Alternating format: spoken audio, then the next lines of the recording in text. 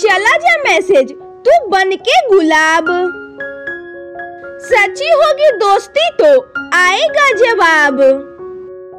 अगर ना आए जवाब तो मत होना उदास। समझ लेना, हमारे लिए टाइम नहीं है उनके पास। हमारा हक नहीं आप पर, ये हम जानते हैं। फिर भी ना जाने क्यों, दुआओं में। खुशी मांगते हैं हम।